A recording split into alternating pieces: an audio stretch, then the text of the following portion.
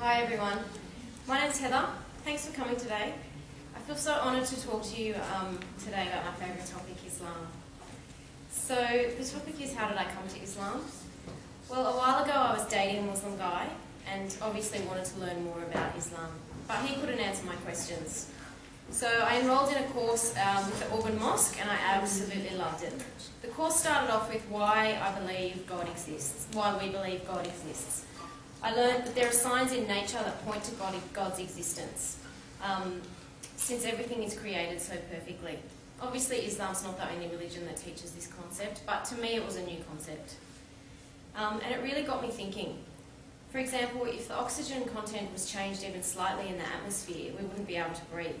If the Earth was not on the angle it was, we wouldn't be able to survive. If the atmosphere didn't have the content it did, um, you know, meteors would penetrate. There's so many different examples. The perfection in the ecosystems, how many different ecosystems there are on this earth, we can't even imagine. You drive 100 kilometres and then there's a new ecosystem, but you don't even notice the change, it happens so gradually. All the animals in each ecosystem are in perfect balance. That one animal will eat another animal, and then all the species are in perfect um, numbers of the species until humans obviously come in and introduce animals that aren't part of that ecosystem. But everything's in perfect balance the miracle of one flower, how it's grown from one seed to a perfect flower with light and water and everything else that it needs that I probably don't even understand. The human body, like the amazing components inside all our body for us to be able to live. Um, I had a test the other day, a blood test, and I looked through a microscope to see what's inside one drop of blood. It was mind-boggling. Um, and the naturopath actually said to me, if anyone doesn't believe in God, well, here's the proof. um, the birds that know instinctively where to go to when they migrate. So the more I reflected on the perfection of nature, the more I realised how intricate and detailed it is. I studied geography, I did my honours in geography, but um, I'd never looked at it from this point of view. So how could this all come into existence by chance? How amazing the Creator must be to create it all so perfectly. So that started me thinking about God and the existence of God. A few weeks later we started learning about the Quran, and this is what really made me know that Islam was for me. I'm a police officer, I like evidence. And for me, the Quran is proof that God exists and that it's the Word of God. We learned that Muslims believe that the Quran is the Word of God for many reasons. Prophet Muhammad, peace be upon him, made sure scribes wrote down the revelation as he received it. Um, every year, Muhammad, peace be upon him, checked the Quran um, with the angel Gabriel to make sure it was right. And every Quran in existence is exactly the same in Arabic. Um, and we actually have two of the original copies of the Quran. Also, no one's been able to write a verse like the Quran. Um, people have tried, and during the time that it was revealed, poetry was massive then. Um, and so a lot of people said, well, Prophet Muhammad's just a poet, he's just made up these words. Um, and many skeptics tried to prove that it wasn't from God, but they couldn't because of the eloquence, because of the language. Um, and many converted to Islam because of that. But the most convincing thing for me of the Quran is that the abundance of scientific facts in the Quran that they couldn't have known about 1400 years ago. Um, and now science is proving that everything in the Quran is true. The Quran talks about the three stages of pregnancy, describing the fetus at each stage and what it looks like. They possibly, they couldn't possibly have known that 1400 years ago. Uh, it says the seawater and freshwater, when joined, will not mix. And now they've proven that when seawater and freshwater mix, it's like there's a barrier there, which the Quran talks about. They don't actually mix. Um, they certainly didn't know that 1400 years ago. It also talks about the Quran being the shape of an ostrich egg, which is not completely oval, but uh, not completely round, just slightly oval, and that's science says that's the shape of the earth. I find this all absolutely amazing, and I love that Islam brings science and God together. Because often people talk about science, um, you have to have either science or God, but we need science to explain God's creation, and they're not in conflict at all.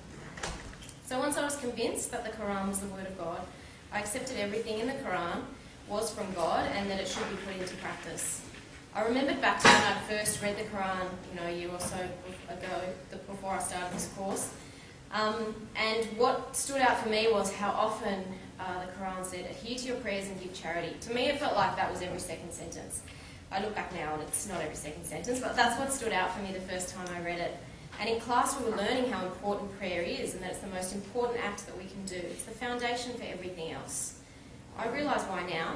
but at the time, I thought, praying five times a day, that is ridiculous. That's way over the top. Surely God doesn't want us to pray five times a day. How difficult it must be to um, find time to find the place, and it must actually be stressful. Well, I was quite wrong. Um, but I believed in the Quran, and I knew that God places an importance on prayer, so I thought, I'll just give it a go. And I'm very glad that I did. Um, I, I, can't describe the amazing benefits of prayer five times a day. Now I would never dream of not praying, as I absolutely love it. I look forward to it. Um, I love praying, and I feel so calm, so peaceful, so connected with God when I pray, and even when I finish as well. My colleagues even noticed the difference. One day I was in the office, I'd just come back from somewhere, I was complaining about a new process that was being implemented, which I shouldn't have been doing. We shouldn't complain, that's a waste of energy. But um, I was, and one of the guys at work said to me, Have you taken your 10 minutes out yet? It was about lunchtime. And he was referring to praying. I said, No, I haven't. And he said, All right, go take your 10 minutes and then come back and talk to me. And, um, and I said, All right, but I'll still be angry about this. And he just goes, We'll see. So this demonstrates the importance of prayer and that even other people can notice the reasons why we pray. It's time out from the world it disconnects us from these silly little things that we get caught up in. Who cares about a new process? You know, it's, it's time out to thank God, to be in connection with God, to feel peaceful, to feel calm, um, and to thank God and, and ask for forgiveness five times a day. It's so peaceful, so meditative. It's like forced meditation five times a day.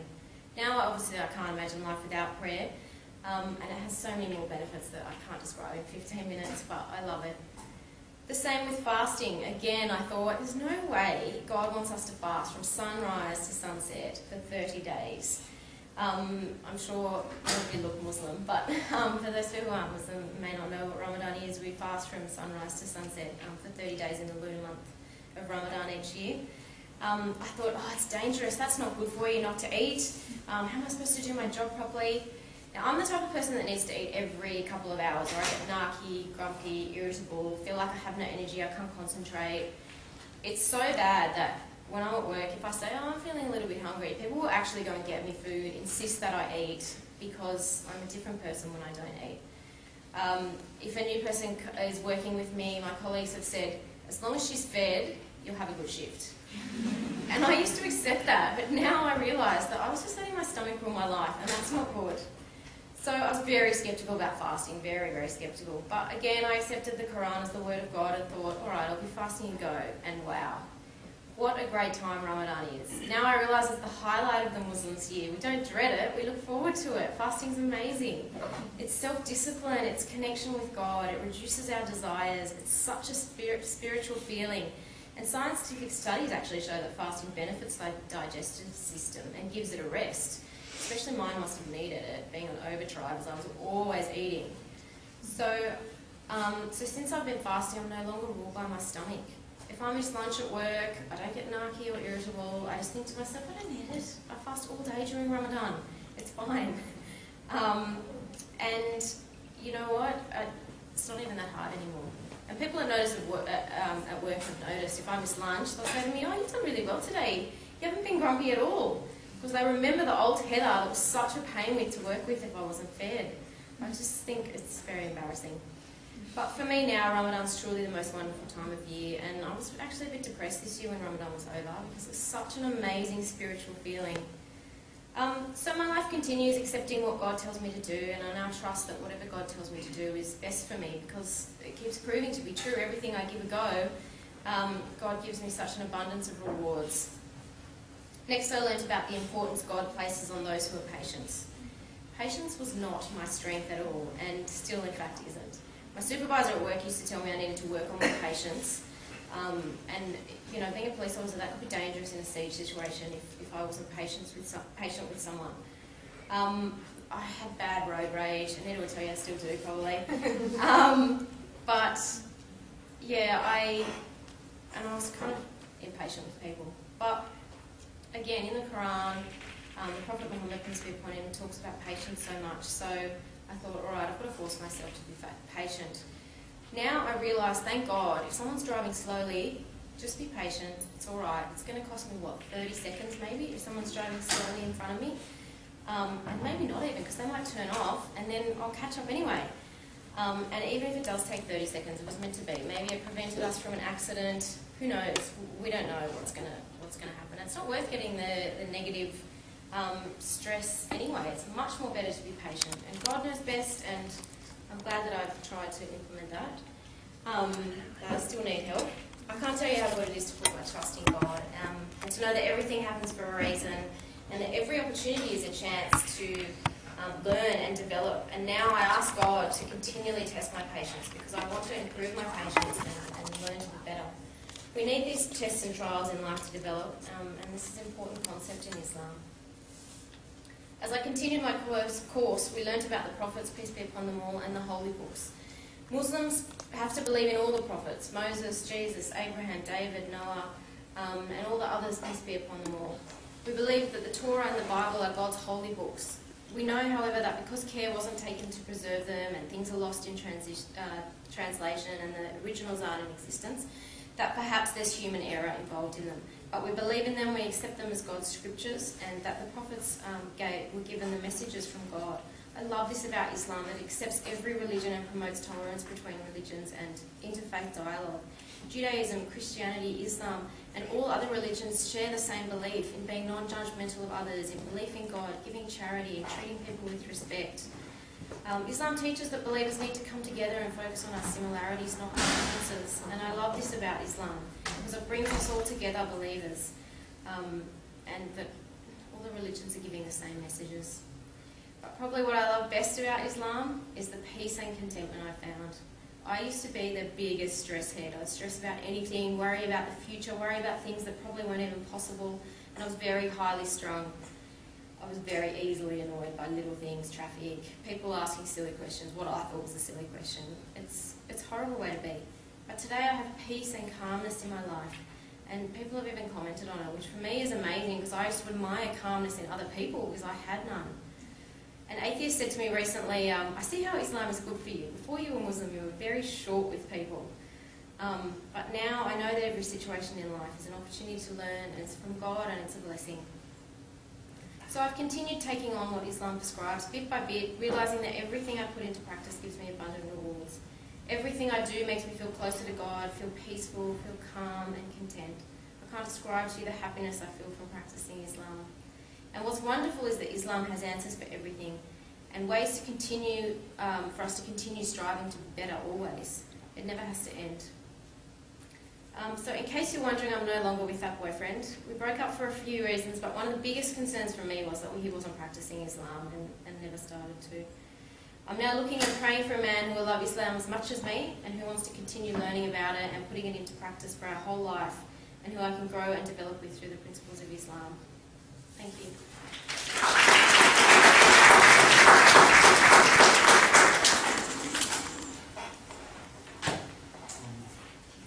Just a couple of verses story. It's, it's very inspiring uh, story. Um, pray for all the best, inshallah. Um, yeah, um, next speaker, Peter. Round of applause to Peter.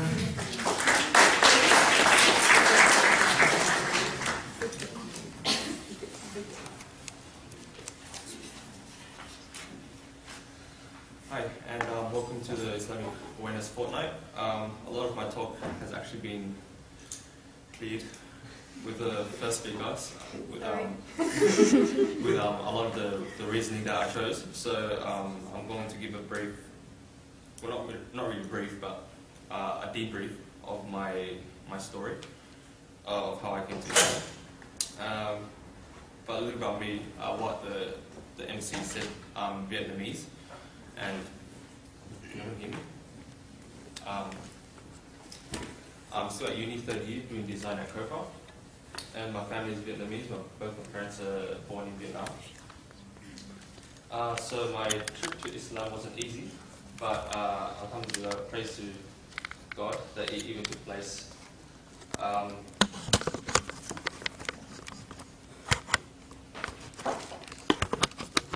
Uh, when I was young, uh, I was I used to go to church with my brother when I was in year five, and this was mainly because uh, my parents thought that we were losing our touch with uh, Vietnamese language, and albeit true, um, because the church uh, was teaching Vietnamese alongside the services. So we attended the services, and it was funny because while we were going to church, we used to wreak havoc. We used to run around and steal stuff, like little cars, and and tease people, and we were dubbed the devil children. That's quite funny. But um, after a while, we, we left. Uh, we, we stopped going, and this is when we moved houses. We used to live in Canterbury, but uh, we moved to where we live now in Lakemba, which is across the street from the mosque.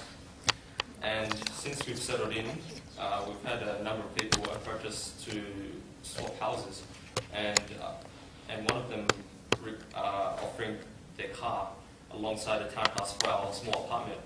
And uh, we were wondering why it was so important to have this location. But I, I knew I didn't want to swap because it, it would mean that I would have to move again, and it would move me further away from the train station, which was a hassle because I was going to high school. Um, and we were living there for a few years, and, I, and nothing really noticeable happened. And it was just really a build-up of exposure to Islam. So I was hearing the, the call to prayer daily. I was seeing a lot of people practicing Islam, a lot of people uh, saying salams to each other, uh, being kind, and gathering after prayer. So there was, there was usually a, a bunch of people outside the mosque uh, five times a day, and I wouldn't understand why. And it was not until year 11 that I met someone uh, through this business program, and she was wearing her hijab, which I didn't see much outside of Lakemba. So, and I didn't understand the reasoning behind that. So I asked her, and I remember our art teacher said it was adopted because uh, Muslims had to hide their identity in fear of persecution and from raiders, which I thought was very ironic given today's criticism to it. Anyway, I got in contact with his sister a few times until another sister had recommended to her that uh, um, to talk to a brother, and uh, and this brother helped me out a lot. He's actually supposed to be here today, but he's quite busy. Um, but from here, things started to pick up. I started attending these fortnightly talks and learned about different aspects of Islam. And I remember it was awkward for me when everyone would pray uh, because these talks were during the night and they would have to pray the Maghrib prayer. And I asked myself if I should do what everyone's doing, pretend that I know what I'm doing, or just wait and sit out. But I would end up sitting out each time. Anyway, what I loved about going to these talks was that the more I learned, the more I wanted to know. And in a way, it was very, it was just fascinating to hear about the angel of death, or or, or anything to that extent after having no knowledge whatsoever about hearing about the hereafter or the unseen. In a way, it was how I was drawn to Islam at the very beginning, because uh, my neighbor, when he heard that I was interested in Islam, he gave me a, a welcome package, which included a Quran, a mini Quran, a prayer map, a supplication book, and this children's book. Uh, it was the illustrated guide to Islam, and it was a very colorful book, and some of the pages were ripped out, and it had texted drawings on it. But um, I got the, the crux of what he was saying. It provided a lot of the scientific uh, miracles, like the first speaker said, in the Quran, and it was one of the more convincing texts that I read. And from that, I obviously delved into more um, more advanced reading, and read a lot on the internet as well. And after re- after reading a lot on the scientific as- aspect, the same brother that first introduced me was um, he gave he suggested to me to learn the linguistic aspect as well. So uh, rational deduction, logical proving, and, and so forth. So he gave me this really small book. Uh, it's about four pages, I think.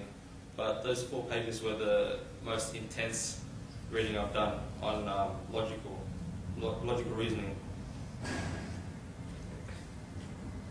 And, and what I liked about reading these books was that it made a lot of sense, talking about uh, the limited and dependent nature of living things and enlightened thought. It provided me a lot more than it's just faith, so believe everything. So I went to these talks for about a year, and uh, reading further, I decided I was ready enough, and because it felt it felt right, and he had a lot of reason. So I contacted the brother I first met and told him I was ready. He set a date and told me to shower beforehand. And, and I showed up wearing a nice shirt, some nice pants, went to the center and I called him. And said that he, he was too busy to organize something. So I went home uh, feeling that that wasn't the day. And he told me that we'd organize it for a different day. And that day came, being the first day of Ramadan on 2009. But, but yeah, so I guess it worked out in the end. So I went through the process of uh, taking the Shahada uh, in front of a group of brothers, and upon doing so, I felt uh, a huge feeling of a, a huge feeling of relief. And as cliche as it sounds, like a, I, it's like I took a deep breath, deep long breath after being underwater for so long. And all of this was also recorded, but I haven't had the chance to receive it yet. The brother hasn't received it, uh, sent it to me. Uh, so after some hugs and the brother who came after it was finished, uh, I went home feeling really, really good. Uh, when I got home, my mom was sitting in the lounge room. She said, she told me, you know the Muslims have started fasting today. And I replied, yeah, so am I. And she said, what? But you're not Muslim. And I replied, here I am. I became one today. And it probably wasn't the best way to tell my mom that I became a Muslim and changed my way of life. But at that point, I, I just didn't think about what I was saying. I was just so happy. Um, after hearing that, my mom went quiet, which I thought was uh, my cue to go to my room, thinking it'd be over after that. Uh, I saw her get up, so I stopped. She told me that I couldn't be Muslim because it is the religion of the Arabs. She told me that I have to follow Buddhism because I'm Vietnamese, because it is my religion because I'm Vietnamese. She told me that under this roof, there could only be one religion. Of course, I refuted. I told her that Islam is a religion for everyone. And after that, things got a little heated, and ended up, and I ended up going to my room and kind of secluding myself. After that, the first couple days seemed okay because I was out of the house, so there wasn't much contact with my mom. But there was that one day that I was at home, and she was at home for the whole day. And I was fasting that day as well because it was during Ramadan as well. Uh, I remember she had bought me food uh, and told me to eat. I told her that I was fasting, I couldn't eat until later on. And she got upset and she said that she didn't like this. Uh, as a motherly instinct, they would want to you know, see their children eat, especially their own food. Um, so she asked me uh, how old people would handle fasting or how people could handle fasting while working. And I told her that there are certain concessions for old people, but also for the people that are actually fasting, it's, it's far beyond just physically starving oneself. And she told me, well, if you're starving yourself, then I'm going to starve myself as well. And, and we'll see what happens because she's getting quite old. So, and then she stormed out of the room. She left me alone for a while, but only to come back later. She put the bowl down on my table again, demanding me to eat. She said, Eat this. If you don't, I will kill myself. So she, she threatened to take her own life and did so again later on during the week. She told me that I had a choice between keeping Islam or her, for me to either renounce Islam or for her to kill herself. She wanted me to undo what I had done that day. The, si- the situation quickly got emotional and fiery, so I told her that I needed some time, even though I knew that there was no way I was going to renounce Islam. I just needed to buy some time that she would calm herself down. So I went and called the, the first brother that had introduced me to Islam and, and told him the situation. He advised me to do what I had been doing, which was to just leave the premises and to make sure that contact is at a minimal. And from there, things things were okay as long as I went at home. There were times that uh, I remember I had to go Officeworks to get some stationery. I went with my mum, and I was still on my L's that time. So I was driving, and when we, when we got to Officeworks, she well, I, I told her um, that that I'm still fasting, and and we're in the car park of Officeworks, and she just got angry again, and she said the same arguments pretty much, and said that under the same roof uh, there can only be one religion, and I said, what if I move out? And she she didn't like this as well, so it just got quiet, and then she's like, okay, do you want to drive home? I'm like, nah, you drive home. I just want to sit in the back and not talk to you. But uh, during the rest of the month, my game plan was pretty much the same. It's just to stay out, stay out, and just uh, do, stay at the library, maybe read, read and do my work there, then go home late when my mum's already asleep. And that was pretty much the gist of it. Uh, there were times that my mum caught me praying at home. Uh, I don't know why I prayed at home. I think it was because I was too embarrassed to pray at the mosque. But um, after she confiscated my welcome package from my neighbor, which include the prayer mat, uh, I used the towel on the carpet to pray. And, and when she walked in, after I finished praying, she said, do not let me catch you doing that again. Uh, it was a, it sounded like an empty threat, which it was because it, after that she didn't really catch me again because I'd go to the mosque. But, but there was still some aggression during that month. Um, but during, but in between then and now, there's been a lot of change. Last, last year there was still a bit of uh, aggression as it was the anniversary of that fight. But, um, but this year has been a, a big improvement.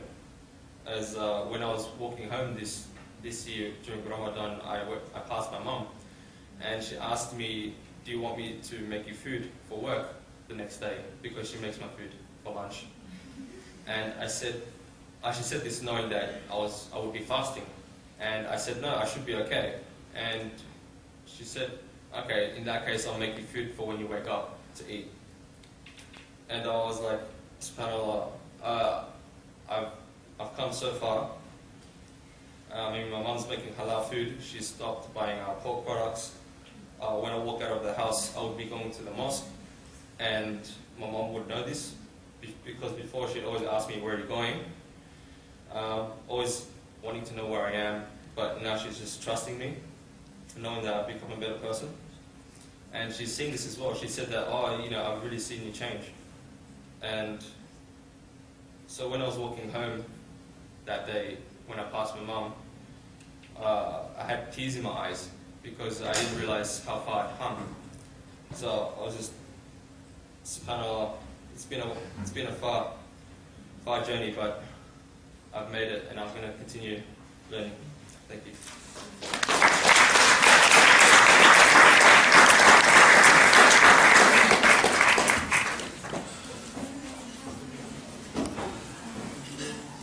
Um, for that, um, uh, Peter, um, very, very inspiring. I think went through so much hardships and yet you still, you still keep strong to the and stuff. It's very inspiring.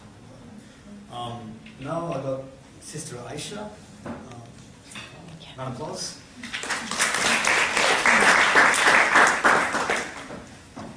How are we going with the time? Uh, excellent, an hour. Can you tell me more?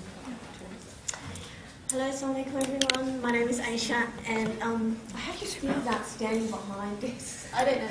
Maybe it's because I'm half Italian. I like to use my hands a lot. You know, I don't know, I feel more free and relaxed. Anyway, thanks for coming and I've really enjoyed these two talks. Very, very inspiring.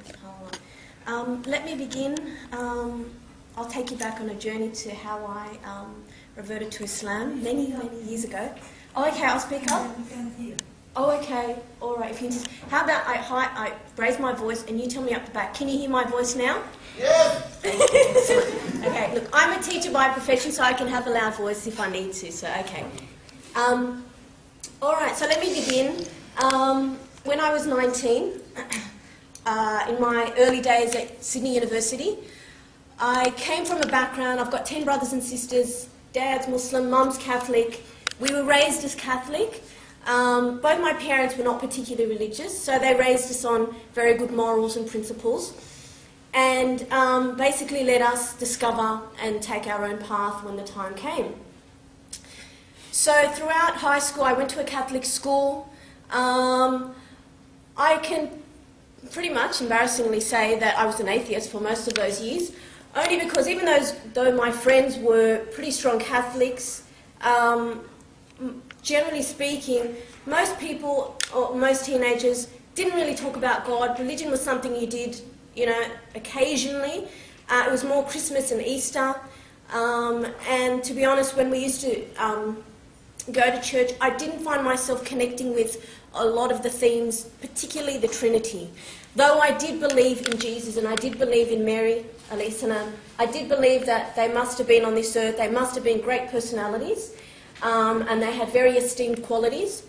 Um, but my idea of God was muddled. I basically thought God was, um, you know, someone who was this very huge.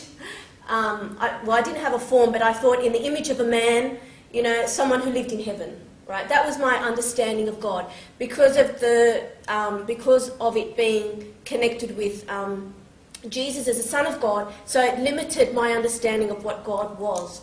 Um, so in that respect, I had a lot of um, uh, uh, contradict a lot of ideas that didn't um, make sense to me. For example, and a lot of um, queries against well, if there is a God, why is there poverty on the planet? Why, you know, did that person just get run over and they're five years old? Why, etc., etc. Right? It didn't. It seemed to make sense to me.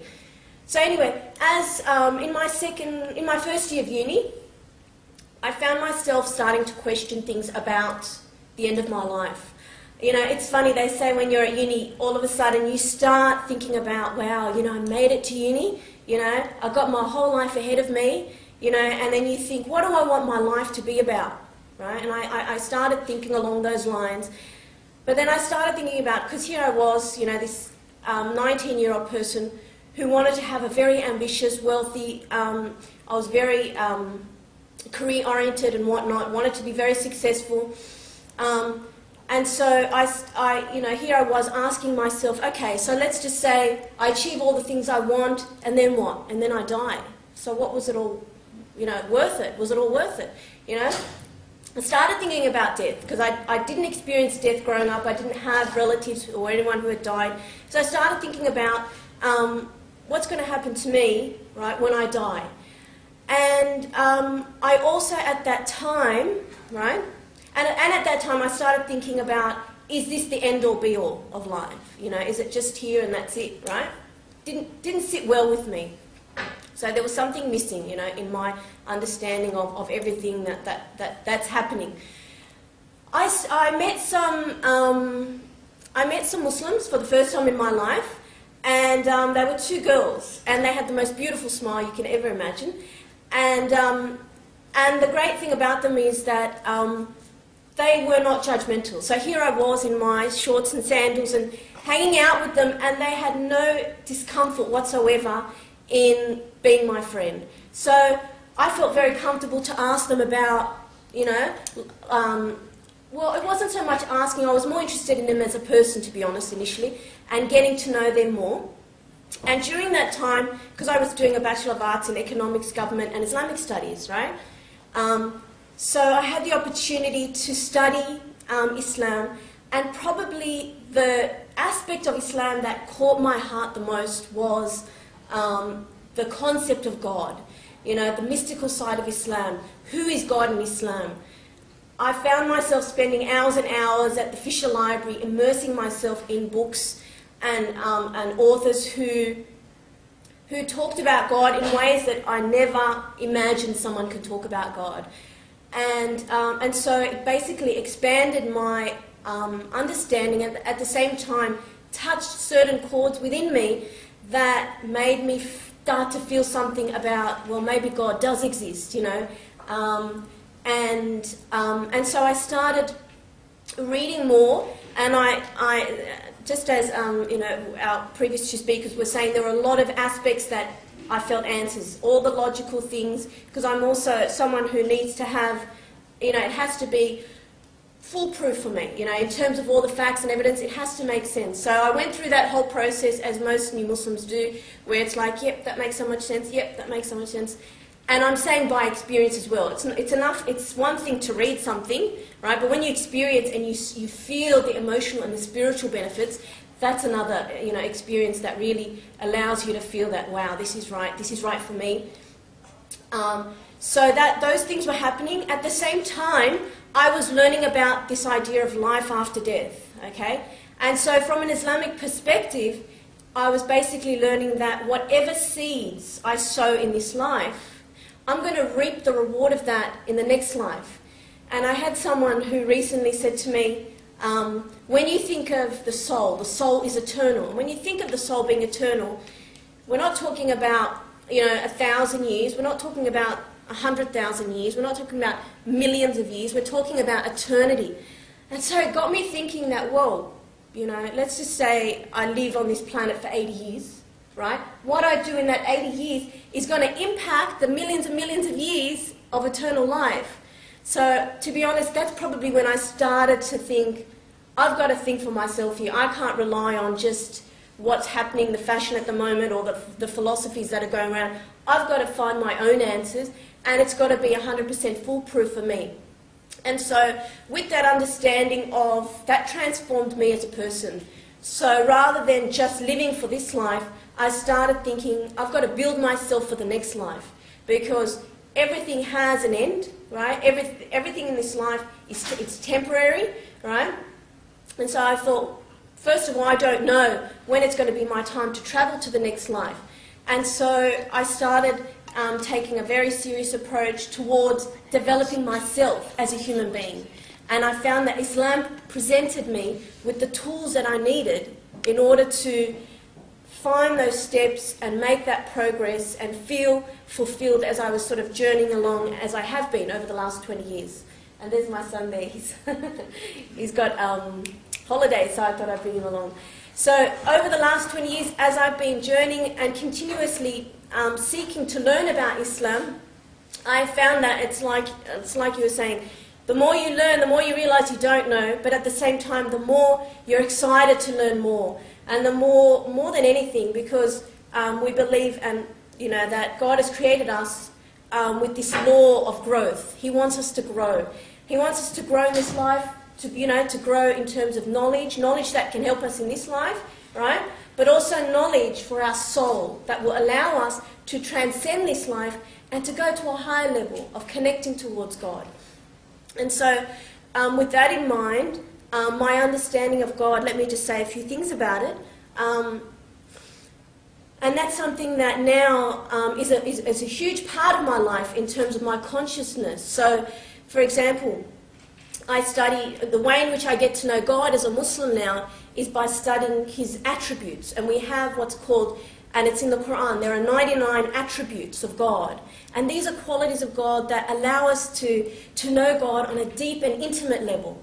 And the more that we contemplate and learn about that, and at the same time, the more that we are reciting those names, right, then it, allow, it, it has allowed me to um, connect more to my Creator, and at the same time, I know that God is recognizing that I am seeking Him, and He is giving that knowledge because. Um, there's this famous um, saying by our Prophet, peace be upon him. He said, to spend one hour contemplating about God is better than 60 years of worship. Right? So he didn't mean that worship is, you know, is, is, is, not, is not the way to go. But what he meant was, you know, you can have someone who worships for 60 years and they never know God. So to contemplate about God, to sit and look at, for example, you know, when you look at the wonders of the universe, when you look at, you know, even zoom down into, a, you know, and think about, for example, a beautiful rose, and you think, how beautiful it smells, the velvety feel of it, you know, the colour of it, the texture, right? Who is this artist behind it, right? Just like, say, you go to a museum and you see this amazing artwork and, you know, you want to get deeper to know the artist, right? Well, the Islamic perspective has taught me that this world is like an art exhibition, right? And God has put all the, all the beauties of creation here for us to ask who is this artist, magnificent artist behind it, and to want to get to know him and to learn more about his artistry and his greatness and his magnificence. And so that's sort of, in a nutshell, giving you an idea of, of um, ways in which a Muslim gets, and in, in, my case as well, has gotten to know God on, on deeper levels. Um, how am I going with time? Five minutes? Keep going. Um, 15. 15? Okay. 15 minutes left to go? Oh, good. okay, so let me um, uh, then take you um, on a journey in terms of um, the essential elements of, of Islam, of beliefs that um, have allowed me to, um, you know, get, you know, practice my Islam. So I'll give you sort of a, a snapshot.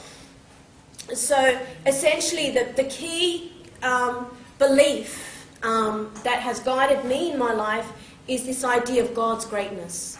You know, that's why you, know you'll hear Muslims here and there saying Allah Akbar. You know, God is great. You know, it's some. It's probably the key words that um, allows me to, um, by contemplating on how great God is, by getting to know Him more, um, and it's something that throughout my day, right, um, it, um, how can I say?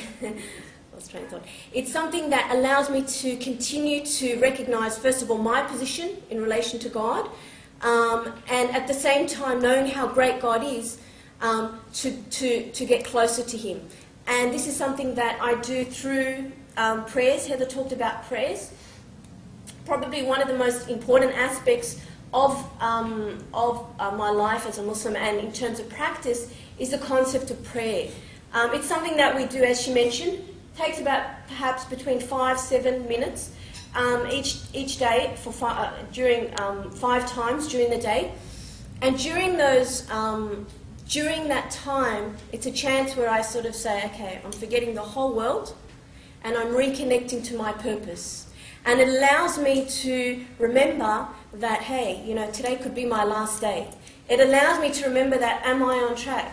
Have I been conscious of God? Have I been conscious of being the best I can in terms of the way I relate to people, in terms of the way I treat my mum and dad, in terms of the way, you know, I treat my family, in, in terms of my, my manners, my behaviours. So with that sort of consciousness, it sort of motivates me towards wanting to be continuously aware of my, of, of, of the way uh, my intention is, first of all, the condition that's inside my heart, inside my mind, and the way in which I'm communicating. Um, so prayer has that important aspect where it's kind of like, you know, um, a reminder to me and a motivation throughout my day, so that when, so that my life outside of the prayer actually becomes like a prayer, where I'm meditating, I'm in that state of consciousness of God, and I'm thinking about Him as I'm, you know, relating or talking to people. And I think that that's probably, you know, um, one of the, the ideals of prayer is so that your life outside of prayer becomes like a prayer. And prayer being a state of, like Heather was saying, a state of calm and tranquility, you know, a state of peace. We have this, there's a very famous hadith, um, a saying of our Prophet, peace be upon him, where he says that patience is half of your faith. And that's a massive statement, isn't it? Patience is half of your faith. Because when you think about it, everything we do, you know, whether it's studying or, you know, um, shopping or, you know, any kind of action, you need a certain amount of patience if you expect to get a good outcome, isn't it? So if you expect to succeed in whatever it is you're doing and you don't have a chunk of patience to go with it, you won't succeed. And so this concept of patience is something that's very important in Islam and it's the key, really. It's one of the keys towards building yourself as a, uh, you know as I've as I've experienced towards becoming a better human being emotionally, mentally, spiritually, socially, etc. Okay, I might finish off um, there. Okay, thank you so much, Lucy.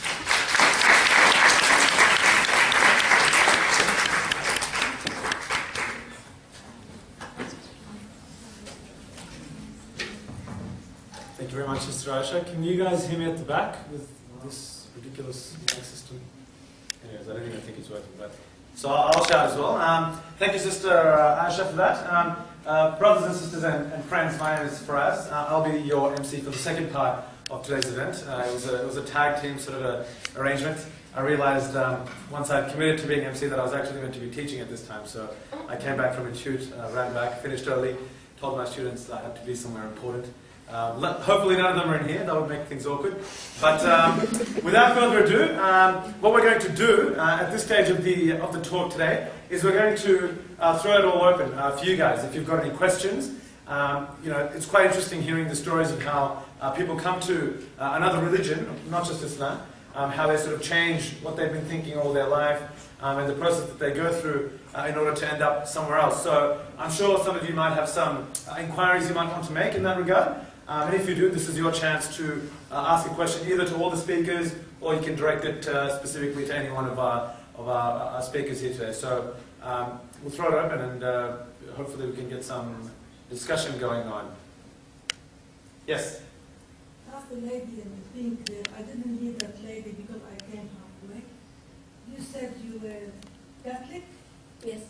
uh, did you have a Bible in your household? Um, can you hear me from here? Yeah. Yes, I did, and I used to read it as a teenager, and we used to attend. We used to have religion classes every week. Yes. What did you learn about Jesus? I learned that he had amazing qualities, and probably the most beautiful qualities, right, were his qualities of compassion and mercy, right? And those were, you know, we, uh, you know, there were many, many prophets, and each one had was a role model, and each one had certain qualities and characteristics that was unique to them. And my understanding of Jesus from the Bible was that that was one of his greatest qualities, and his quality of forgiving. That no matter what, he was able to forgive. Are you aware that I read the Quran and I find a lot of violence in it? Do not be friend a Jew or Christian because you will be infidel like them. Thank you, thank you for raising that. There's a lot of verses in the in the Quran It's all that killing, it's all killing and violence. Bible have no killing. Bible have love your enemy, pray for your persecutor. That's what the Bible said. Did you think you choose the right way? You know why you didn't choose the right way? Because the Catholics don't teach the Bible.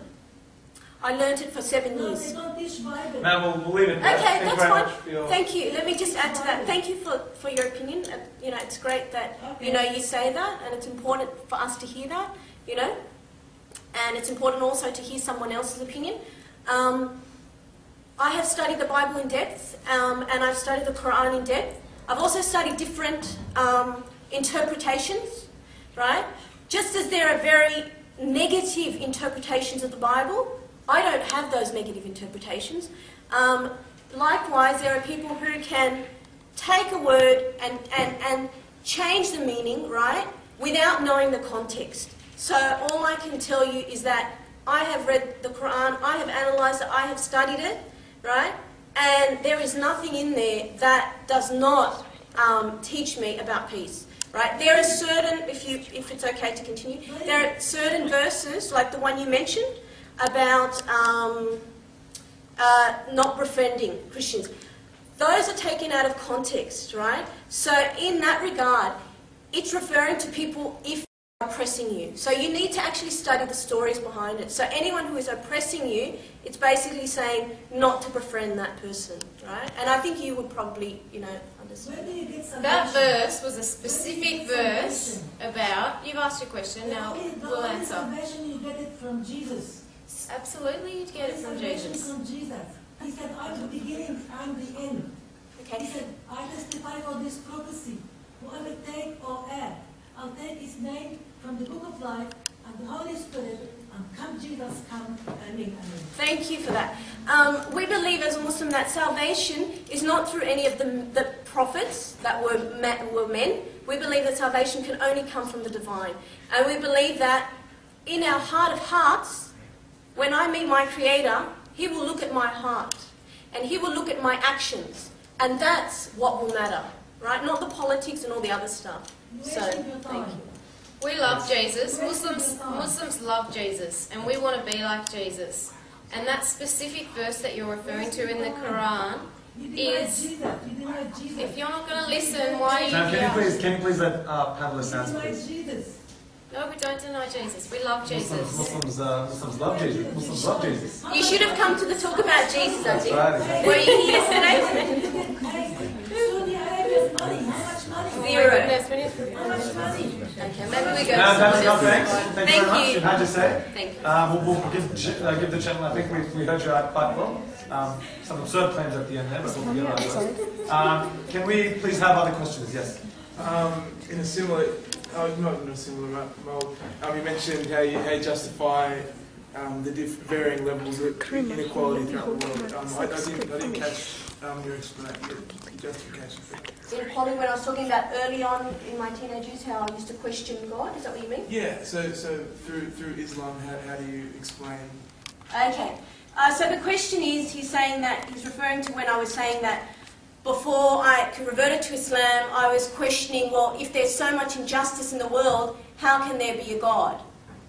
And so my under, and so my perspective now about that as a Muslim is that any injustice that exists, if you look at it, right, with um, the with, with the facts, right, you will always see that it comes back to humankind. So, for example, the state of the environment now, right, hasn't happened by magic. We've created, you know, an environment on this earth that is where you have resources being depleted, where you have, you know, countries, um, you know, where you have natural disasters, where you have global warming, right?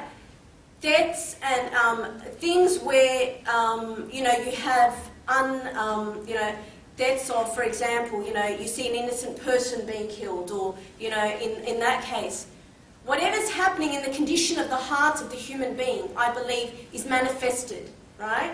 So, because we are all connected as one, right, I believe that whatever's happening within us is also being manifested around us. So, I don't know, does that sort of answer your question?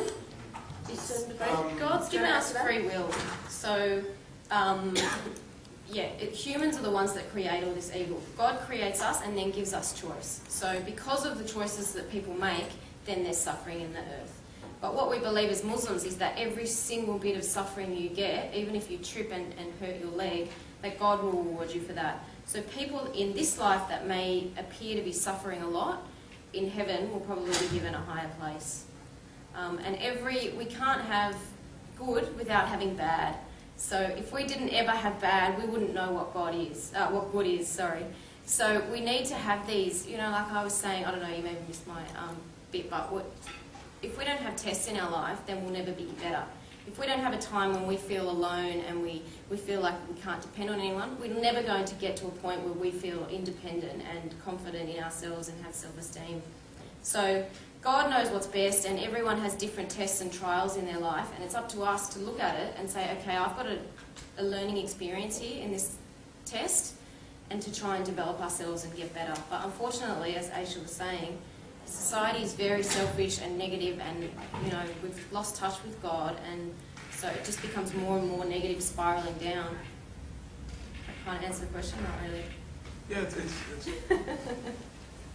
Thank you very much. Um, any others who want to direct an inquiry towards our speakers?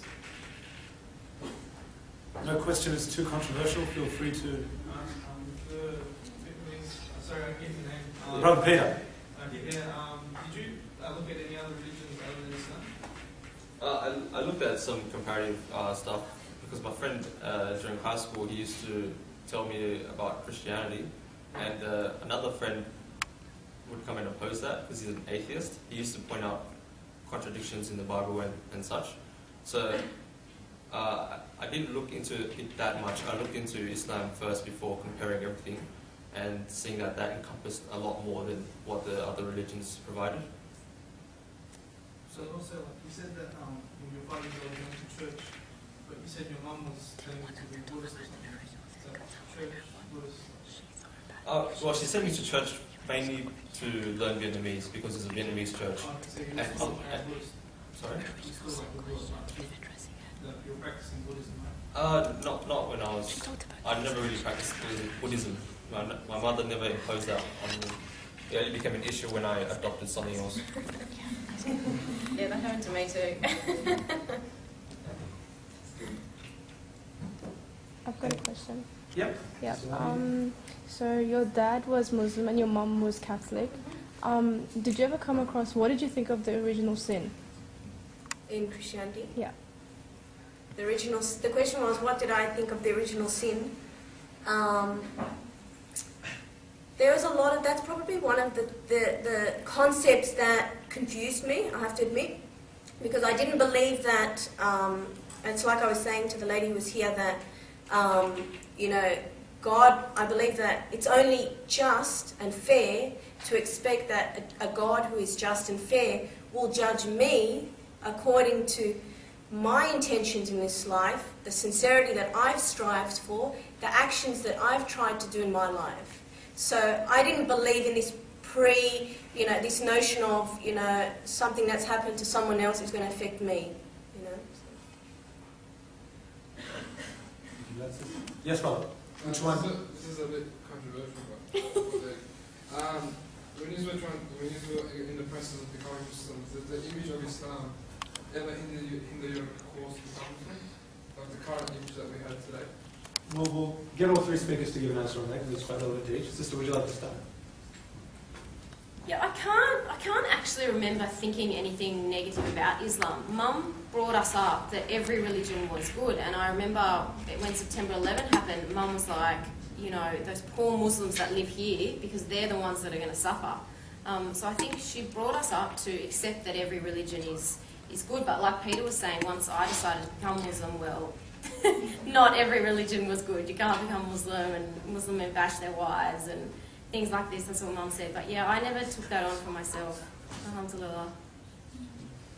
Um, I think the only time I had the negative ideas about Islam was as a teenager, and it was once in a blue moon. You know, you'd see someone from far, or maybe on the news, where you'd see a woman wearing a scarf, and so you'd think in the way that you've been brought up in a Western culture that you know, if she doesn't look like this, then you know um, this must mean such and such. So. Yes, I did believe that women were oppressed. I did believe that, you know, Islam was a barbaric religion. Um, and it was just things that, you know, you'd hear things here and there. But, you know, as I said earlier, I didn't really investigate that. And, um, you know, so, yeah. But, you know, alhamdulillah, that by seeing Muslims who were, you know, true Muslims, I was able to, you know, learn, um, be inspired towards wanting to know more about Islam. Uh, for me, I wasn't really connected to what was happening around the world when I was younger. And when September 11 actually did happen, when I was in primary school, I had no idea what that was about. I remember my teacher told me to write how you would feel as if you were um, uh, as a part of uh, the, one of the people that were in the vicinity. And I, all I could imagine was a piece of wood fell on my head. But, um, but, but today, but that was nowhere compared to how it's um, portrayed today. I, like even still, my early my family started pointing out uh, stereotypes and and portrayed image of Muslims after I became a Muslim, with my dad labeling them as like uh, loud terrorists because uh, we lived because we live across the street from the mosque, but not really. But I didn't really um, didn't really have any of those preconceived um, notions that I had before. Yeah. Thank you. Yes, sister. I have a question for the brother, because I'm a I'll convert myself and I'm Chinese. So I was wondering, um, so my mom's kind of not practicing Buddhist, but so I was just wondering, have you tried to explain Islam to your parents? And if you have, yeah, how? Like, because I, I do want to explain Islam to my parents, but it's so difficult and they don't really understand. Uh, well, for me, my Vietnamese isn't so great, so I can see how this church uh, would have come in handy. So it's a bit hard when there's a language barrier. So for me, uh, I've been trying to find uh, someone who's Vietnamese and uh, a Muslim as well to try to explain the concepts better. But uh, I, I try to explain where I can the very simple, very simple things that um, what's promoted in Islam, such as uh, care to care to my mother. Um, but also sometimes I ask my neighbor to try and talk to her because I'm not sure why, but two people with broken English talking to each other kind of works better than me trying to explain it so, yeah. It's probably because she. I found with my mum, mum doesn't want to hear it from me, and so I prayed istikhara a lot. You know, we have a prayer, and for anyone doesn't know, in Islam that um, we can ask God for guidance, and we ask God if we should go a certain way. And I prayed istikhara a lot before I spoke to my mum. um, because I thought, should I just tell her, oh, look, I'm Muslim, this is it, this is what you've got to deal with and be done with it? Um, but I got no, and just should I say this to mum? Should I tell her that I'm praying? Should I tell her, you know, bits and pieces? And I got yes for a couple of them, but in the end, mum was going out and researching herself. She didn't want to hear it from me. She wanted to go and investigate it herself. So all I would say is make dua, pray istikhara about what you should talk to her about, and, and make dua that Allah will inspire you with the right things for her, because everyone needs different um, aspects of Islam to for it to click for them or whatever. But I think it was too hurtful for mum to hear it from me, because it's hurtful to have a Muslim daughter. I feel almost like, um, because I've got sort of the other extreme where my mum was like, well, if you're happy, I'm happy, and that was it. but I think it's also because she grew up with Jewish friends, Muslim friends, Catholic friends, you know, and so she grew up at a time where you just treated everyone with respect, you know, and so she didn't have this, you know, um, bitterness towards Muslims. Um, and at the same time, she was saying, look, you know, you seem more relaxed, more at peace. You know, it's making you a better person. So she just took it from that perspective, you know. Yeah. Yes, sister. Um, I have a question for Sister Aisha and Sister Luna. Um, when did you first put on hijab, and how did you what, how did you feel when you first put it on, and what was the reaction of people around you? I'm interested in this. I was at uni, it was pretty scary. um, so we're talking about like early 90s.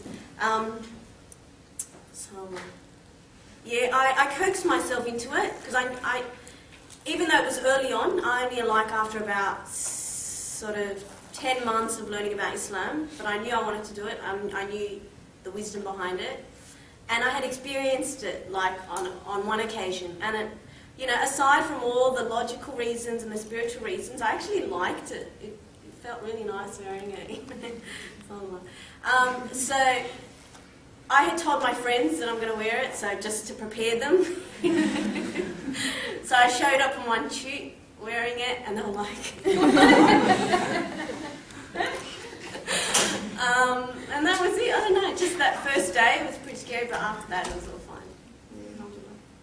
I, I haven't put it on yet, but I'm trying to wear it as much as I can. I, I struggle with it a lot.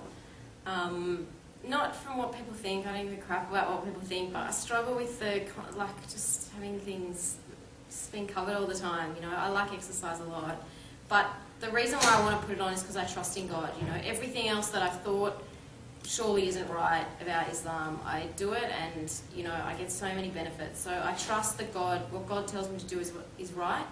So a couple of months ago, I had decided to put it on. I was like, yeah, I'm going to put it on at work. I researched all about hijabs, like police officers that wear hijabs, and and I was going to go into work and everything. Anyway, you know, it was stopped for a reason. But um, yeah, I'm just trying to wear it as much as I can, and hope that one day I just won't want to take it off.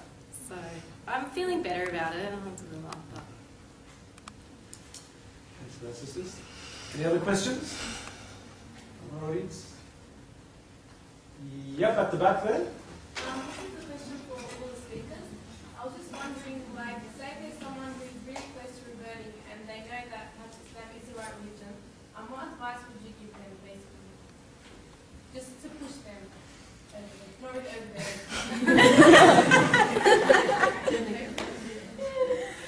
Oh, I, like I would probably talk to them about what I just say, like, what do you like about Islam, or and then try and get them to um, to say what they like and maybe you know what's stopping you or something like that, so that they it, it builds up a conversation so that you can say what you like or whatever. Because you've got to figure out what different people are interested in and what is the hesitation, you know.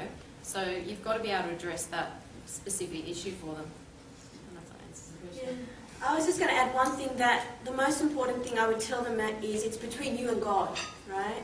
And just work on your relationship between you and your Creator. You know, just keep, um, you know, seeking to know Him more, relying on Him. Dua, which is the highest form of worship, you know, and a sign of your iman.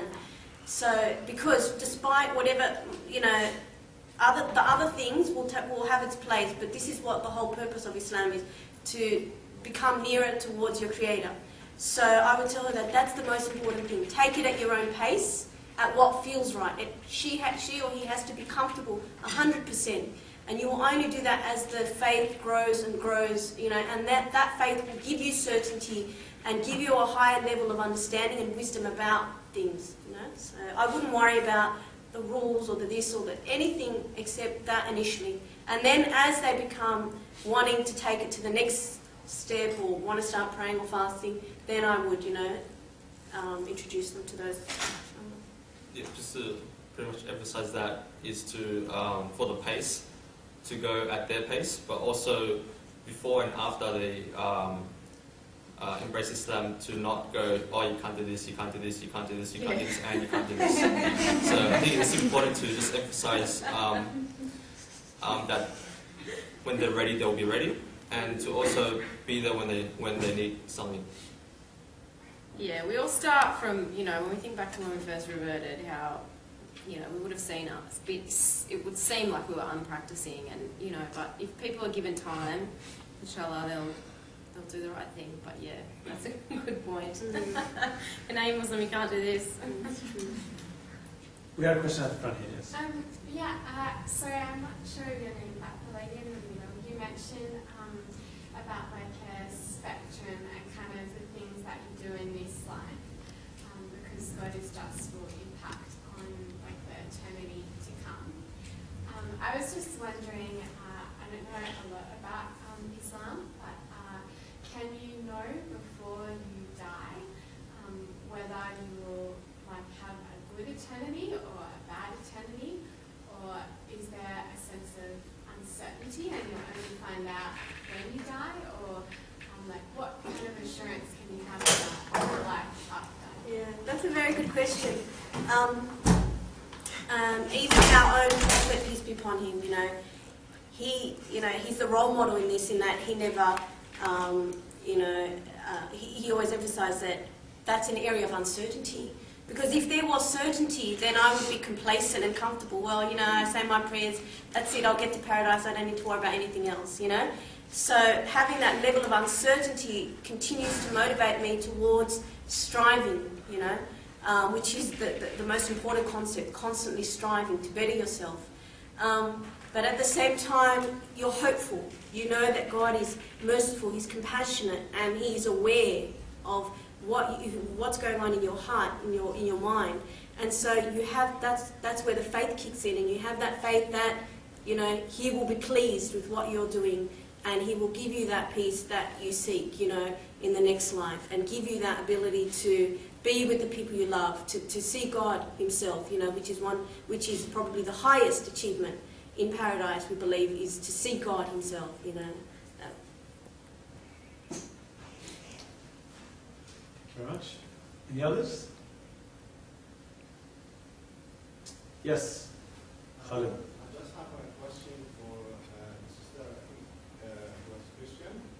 You're Christian. Both of us. and uh, Green. Were you Christian before? Green. Oh, Aisha. It's Aisha, Yes.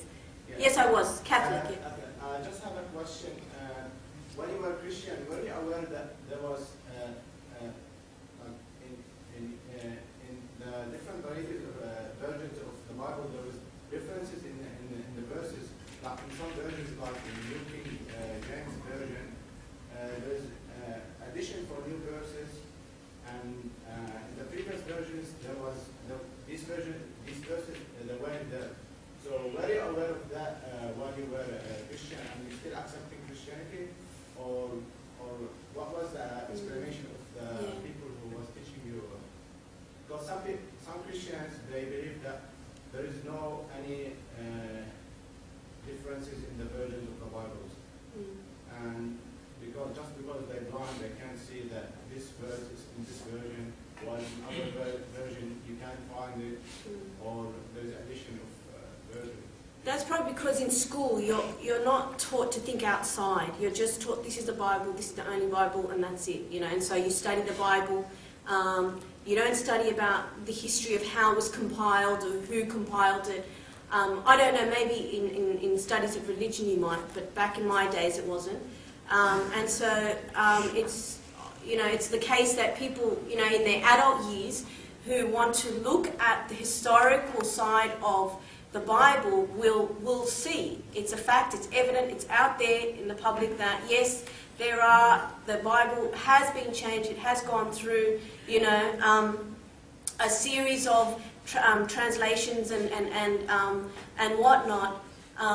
But their their argument is that uh, well, it still has um, the, the, the, the divine hand in it, so to speak. You know, that, for example, whoever wrote it was inspired by God. And so that's sufficient for them, right, who, who accept that. I personally, because everyone is different, I thought, well, hold on, if God is so great, right, and I'm here on this earth for a short time, right, um, why couldn't He preserve His, his message to humanity? That was my query, that I wasn't happy with, with that argument. So I remember once I was at a lecture and I heard the lecturer saying that the Quran, even if you don't accept it as the word of God, um, it was the, the, the Quran itself, which was revealed 1400 years ago, every letter and, and um, a word and whatever has not changed. Not one single letter or vowel has changed since it was revealed. And Western and, and non, uh, Muslim and non-Muslim scholars will attest to that. And so I thought that's a really huge, you know, argument to say and, and pretty strong, you know, thing to say about the Quran. And so when I started studying it and, and learning about Islam, for me that was sufficient to say, wow, well God actually did preserve his final um, uh, message to humanity. Yes, Faraz. Question is to any of the speakers, and it's pretty much asking, um, what do you think is the best way to actually give uh, dawah? I mean, I think it's a very important question that should be asked amongst the Muslim community today, because there's people like you that are, you know, the fruits of what dawah is to, to all of us. So you guys have been on both sides of the fence, and you guys have been the recipients of dawah, and now you're like giving dawah. So what do you think is the best approach talking to non-Muslims and giving them dawah about Islam? Um, well, it depends uh, who you're approaching, uh, such as your neighbor who you see every now and then. It would be who, who isn't a Muslim. It would be good to uh, give him snippets or something. You know, just uh, small portions of it every every time you see them or something like that. Or or in my case, if you live in Lakemba across the street from the mosque, you can just say, oh yeah, what they're doing now, they're going to pray and stuff like that. So it just really depends on who you're um, giving dawah to. Dawah for our non-Muslim friends means invitation to Islam. Um, sorry, could you repeat the question? Uh, the question was basically, um, what's the best approach to invite someone to Islam? Okay. Because I've seen a lot of people, they, they just plainly get it wrong. Okay. Um, I think the best approach is to be yourself, um, to let them see how, to let them see Islam through you, through the way you are. Because I personally think that's enough. If you are standing for Islamic principles and striving, then they will see something different, you know, and they will connect to that. Because Islam is a religion of the heart, and people connect through the heart. And, um, and so, you know, your friendship to them, your love, your kindness, you know, um, that will speak much more than any words. Um, and, in, well, and of course, the words are important. So at the same time, you know, I would be conscious of saying things to inspire them. You know, whether it's sayings of, um, you know, profound sayings such as, you know, um, some of the you know virtues that we all aspire to, or you know quotes or things here and there, you know, um, or things about God. You know, really inspiring things that will make them will sort of put seeds about about God and about our our responsibility towards knowing who God is and understanding that. So, along those lines. Yeah, what Ash says, the best thing you can do is just be an excellent Muslim. Unfortunately, as Muslims, because there's so much negative stereotypes, we have to be even better. So when we want to get angry at someone, we have to think, no, we can't, because they're going to look at us and think, oh, you Muslims are whatever. So the best thing that we can do is treat everybody with respect, is to treat everyone how we'd like to be treated, to be patient, to be the best Muslims we can, And you know, hopefully in time they will come to then grow to trust you and ask you questions about it. People are curious, but we have to be patient, unfortunately, and just give it time for them to become accustomed to us and see that these are Muslim qualities, not the criminals that we see and the people in the street, go down the streets of Lakemba and Auburn, and it's disgusting, a pigsty, people hooning around. Like, there's so many negative um, stereotypes that we just have to be better, unfortunately. Because we don't want to be, pe- yeah. Well, fortunately, yeah, that's right. It's our test, you know, and it helps us to be better. But um, yeah, people don't want to be preached to. If someone had started to talk to me about Islam, I would have been like, whoa, back off. so we have to come to it ourselves. Nabil. Um, so I'm sorry, I actually missed your presentations. I missed, um, so if, I, if you already discussed this, then you can my question. But um, I was actually just having a long discussion with a, a brother who just recently became Muslim. And something that came out of the discussion was um, with fundamental philosophical challenges and difficulties that people have with Islam. Once you become Muslim, how do you deal with those? So, I mean, you can think of issues about fate and destiny, you can think about capital punishment, any fundamental philosophical issue you can name it. Once you become Muslim, and now you've accepted Islam and you're submitting to the Quran and the Prophet and following teaching, how do you how do you deal with those challenges? Do you sort of just say I accept them, or do you say I accept them conditionally? How do you how do you deal with them? That's something that I'm interested.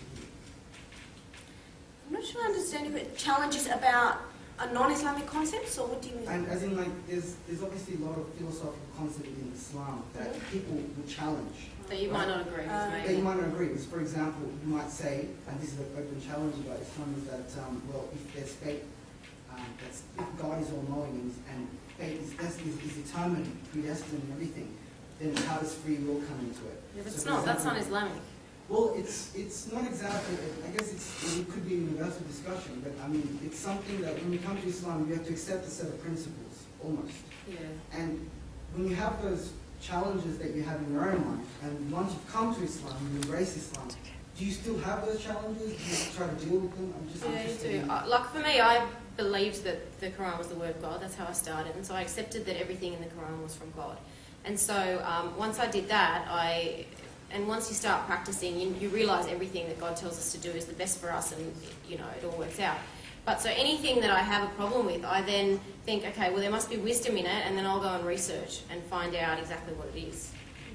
You just have to do your research and find out everything that God tells us to do is what's right for us. But we have to find it for ourselves, you know. That's the beauty. We can continue learning forever. Yeah, do you have something to say? That's exactly what I was going to say. Just um, learning more about the, the issue itself, but knowing uh, with confirmation that the Quran is the word of God and that He knows what's best for us. So anything that uh, is prescribed upon us is is what's best for us because He knows us better than we do.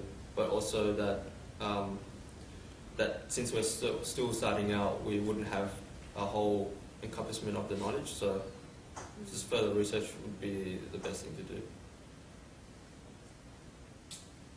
Any other questions? We might take one more from the floor. If we don't. Yep, sister. It's Dawn, uh, speakers here. Um, I was just wondering, since, I mean, I've been Muslim since I was born. And, uh, so I've been in Islam like basically all the time. And I'm in, uh, an insider, but they've been an outsider. Some, sometimes it happens that you're inside something you don't see the advantages or the good points about that thing. And then an outsider just picks it up.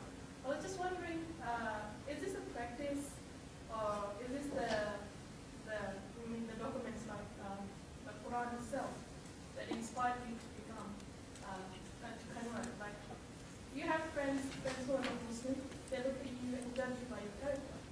They're like, wow, that's really cool. I mean, we don't have that in our religion.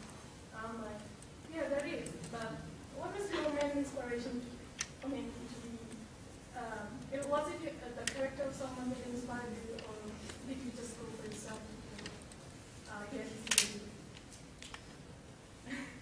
Did you miss the talks? I didn't late, sorry. That's all right. For Peter and me, we, we looked at the, um, the scientific proofs in the Quran and the fact that the Quran was the word of God. Is that right, Peter? Did I make it up? Oh, and then onto the linguistics and Oh, the linguistics, yeah. An eight. No, the basic point is that how much is it that once, I mean, how am I practicing is going to affect the outside of it? I mean, like, if I have a good character, I'm going to inspire someone. How much is that? I mean, the weighting of that counts towards, uh, I mean, it's more of a presentation. How does, how would I present myself to outside world? And then how, how do you guys judge us from Yeah, it's point of view? massive. Is that, is that the main factor or? I, I, I think so because um, I mean, some people might come to Islam without meeting a Muslim. You know, they study it, you know, and um, they look at it in depth, and um, and it all and it all makes sense to them. But I, from my experience, the majority have always had that initial human contact where they felt something special about someone, uh, uh, particular qualities or characteristics, you know, and often it started off with friendship, right? And um, and so I have to emphasise that it's the friendship aspect that's very important.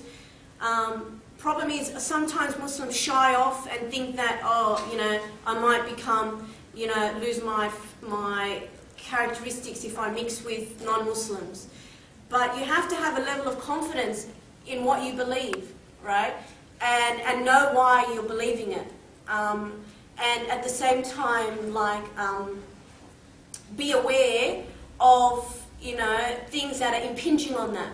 So if you find yourself, you know, um, doing something that's not within your values, then you take note of that, you know.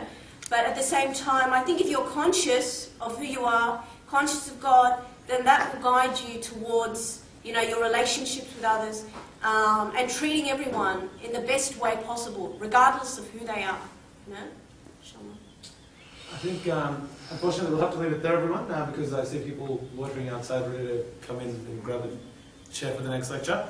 Uh, just a couple of things. Um, firstly, there are refreshments uh, that will be served outside uh, this room when you go out, so please be sure to grab those. Uh, secondly, um, for those who weren't able to ask questions or who've got more questions to ask, you can hopefully mingle with the speakers unless they have to rush off. Um, thirdly, we are having a stall uh, every day of the Islamic Awareness Fortnight um, outside the, the library, in the library walkway, so please feel free to come over there, discuss with us, mingle with us, um, you know, grab a few things, uh, pamphlets and whatnot. And then finally, um, if you haven't, then please make sure you grab a flyer, which has the details for the upcoming week's uh, events. So we've got a fortnight, so it continues into next week. Uh, plenty of other good events to come, uh, so make sure you attend some of those as well, and uh, hopefully gain a bit more insight to Islam. Thank you very much uh, to everyone for coming here.